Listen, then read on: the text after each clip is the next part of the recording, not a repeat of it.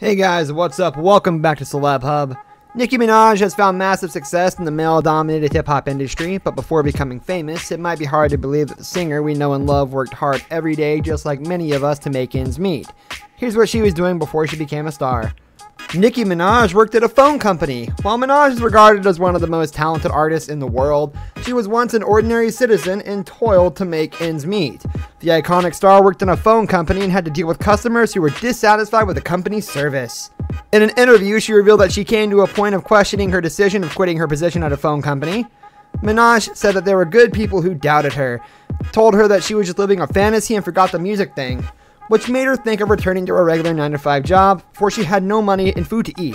Thankfully, she did not give in to life's pressures and trials. She said it was her faith in God that got her through, adding that she always believes that any and everything is possible if you believe really hard and do the work. I was working for like a, a telephone company, and um, you know, I, every day I kind of had to deal with people whose phones weren't working, but it was they were businesses, so they were like spazzing out, and I would be like, please help.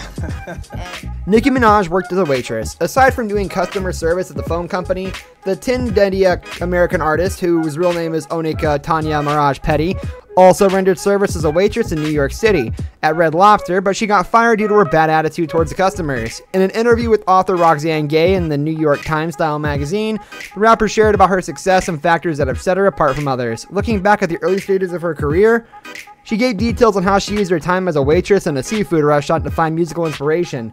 She revealed, I would take people's order and then a rap might come to me just by what they're wearing or what they said or did and I would go to the kitchen and write it down, put it in the back of my little thing on my apron, and by the time I was done, I would have all these sheets of paper thrown around everywhere with raps. Nicki Minaj struggled as a female rapper. Minaj also admitted that there were times she felt not good enough, but she believed in her ability to withstand what would break the normal girl. At this point in her music career, the Anaconda singer has been able to reconcile her struggles and never let those trials stop her from reaching the pinnacle of success. The Queen frankly shared, I had so much going against me in the beginning being black, being a woman, being a female rapper, no matter how many times I get on a track with everyone's favorite MC and hold my own, the culture never seems to want to give me my props as an MC, as a lyricist, as a writer. She divulged that she had to prove herself a hundred times while other male artists at the time were given the titles quickly. This brings us to the end of our video. I hope you enjoyed it. Hit like if you did, and don't forget to subscribe to our channel so you don't miss out on any of our videos in the future. Also watch a few videos that are on your screen because I'm sure you'll love them. With that, I'll see you in the next video.